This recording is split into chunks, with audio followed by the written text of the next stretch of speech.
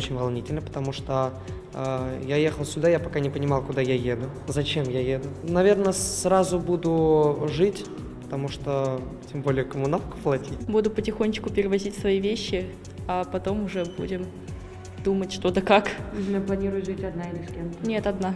Угу. С собакой.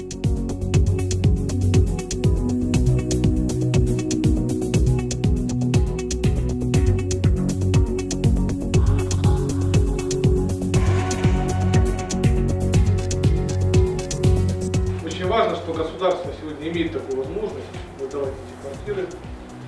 И а, для нас это не просто передача ключей или формальное оформление документов.